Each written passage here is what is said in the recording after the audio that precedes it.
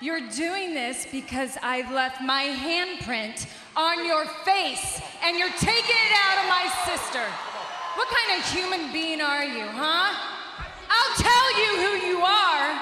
You are a vindictive.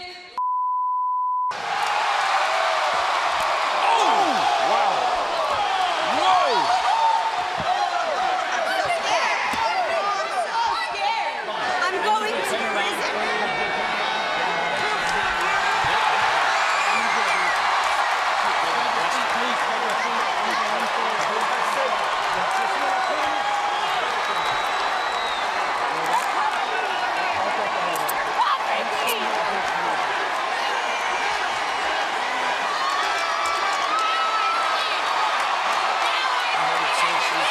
prison.